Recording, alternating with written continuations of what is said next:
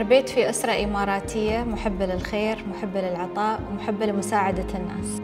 من هواياتي تعلم اللغات أتكلم عربي إنجليزي فرنسي بطلاقة وأتواصل بالإيطالي بلغة الإشارة الإماراتية ولغة الإشارة الأمريكية. بنتي نورة غيرت لي حياتي. علمتني معنى العطاء فتحت لي عالم الصم عالم لغة الإشارة عالم الإحساس وعالم التواصل.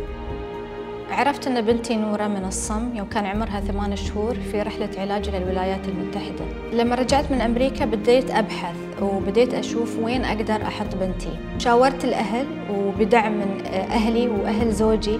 قدرنا نفتتح المركز 10 10 2010 كأول مركز خدمة مجتمعية يقدم خدمات علاجية للأطفال.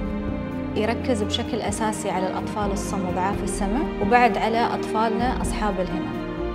قاموس الإشارة الإماراتي مشروع وطني. نفتخر أن إحنا نكون جزء من هذا المشروع.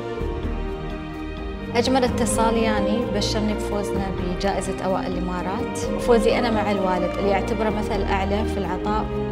نصيحتي للشباب أنهم يدخلون مجالات جديدة فيها تحديات يساعدون فيها الناس يساعدون فيها المجتمع.